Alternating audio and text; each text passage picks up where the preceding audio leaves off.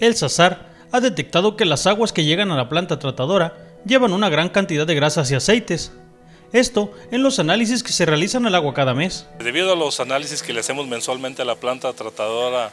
de aguas residuales, bueno, hacemos dos análisis al mes, este, pues allá aparece todo lo que eh, aquí los usuarios del drenaje vierten y en efecto, este, como tú lo dices, nos están saliendo bastantes grasas y de todo tipo, grasas eh, de animales, de las pollerías, de las carnicerías, eh, de los restaurantes, loncherías. Es por eso que su director Gildardo Moreno pide a los usuarios no tirar los desechos al drenaje y a usar trampas que atrapen el aceite además de poner a su disposición un contenedor en sus oficinas para dar un buen fin a este tipo de desechos. Y hacerles una invitación a que no lo hagan y empezar en primer término a utilizar las trampas este, para atrapar aceites y grasas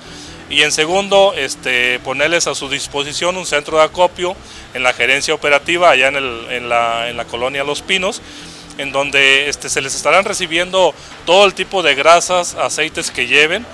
eh, para lo cual nosotros los, estaremos almacenando y posteriormente entregarlos a una empresa recicladora y de esa manera, bueno, tratar de ya no dañar la planta tratadora. Aseguró que el problema más grave es el momento de sanear el agua,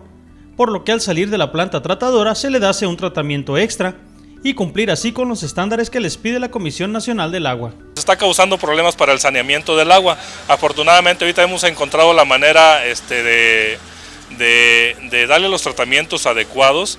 este, y en la salida hacerle un, tratamiento adicional para